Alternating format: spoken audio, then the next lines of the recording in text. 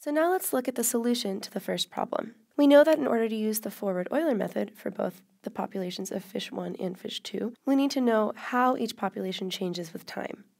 I've written out expressions for f1 dot and f2 dot, showing the time derivatives of each population. Now in each equation, we can see that this first term is in the form of the logistic growth function that I showed you in the question introduction video. We have a growth rate and then 1 minus the population over the carrying capacity times the population again. And the same thing up here. So these first terms show the positive rate of change of the population. However, each equation also has a second part tacked onto it that shows a negative rate of change.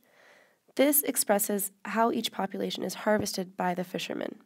As we said earlier, P is the fraction of the fish that we catch that are of fish type 2, or the green fish. We know then that the rate of harvesting of the green type of fish is going to be P times our total harvest rate. We can maintain the same total harvest rate if we make the coefficient in front of the harvest rate in the equation for the red fish 1 minus p. Now remember, we're trying to prevent the green fish from going extinct. So this means that we need to create a situation in which the rate of change of population 2 is greater than or equal to 0. If we rearrange the equation for f2 dot, we should end up with this term, which is showing how the population can gain fish, should be greater than or equal to this term, which is showing how the population can lose fish. The value of p that we're trying to calculate, however, is the exact threshold of extinction. So this is going to happen where growth exactly equals harvesting. In other words, if there were any more harvesting or any less growth, population 2 would become extinct eventually. This graph over here, like you've seen before, has a blue curve that shows how the growth rate changes with population, and also has a red curve that represents harvesting rate. Now this first red line is just an example of a harvest rate, but the one that we're interested in is this dotted red line up here which just touches the maximum of the growth curve. You might remember that this point on the growth curve is also known as the maximum sustainable yield. You can see that if we move the red line any higher, then the harvesting rate will always exceed the growth rate, and we will definitely end up with an extinct fish 2 population. Similarly, if we move anywhere else on the blue line, the growth rate will again be below this harvest rate, and we will begin to deplete the population of fish 2. Right in the center, however, we have a point of semi-stable equilibrium, just like Jorn talked about in the unit. Any tiny bit that the population moves to the left side of the curve will result in it eventually falling all the way down to zero, which clearly means that fish 2 has become extinct. If instead we have a slightly larger population than 5 times 10 to the fifth tons, we will again start to see a decrease in population. And if, by chance, the population does not stop at exactly this maximum point, it will fall to the other side of the curve and also become extinct.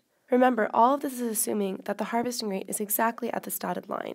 So now we need to find what value of p will place the dotted line right at this position. Again, at this point we have growth rate exactly equal to harvesting rate. So I've taken the two parts of the equation for f2 dot and written them as equal to each other right here.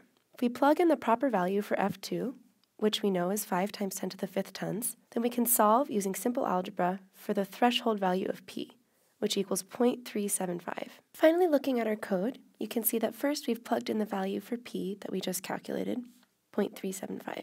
And down here in the for loop, we have a very simple translation of the equations that we created for the growth rates of both fish 1 and fish 2, and the spots for the rate of change of either population. So for fish 1 we have this, and for fish 2 we have this. As always, these rates of change are multiplied by h, the step size, and added to the initial values for either fish population.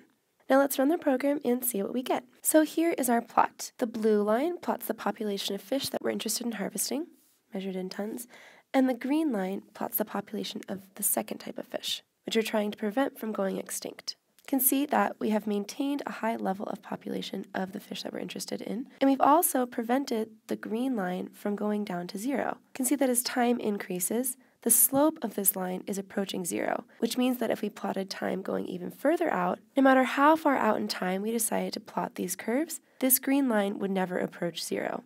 Just for fun, let's see what happens if we set p equal to 0.5.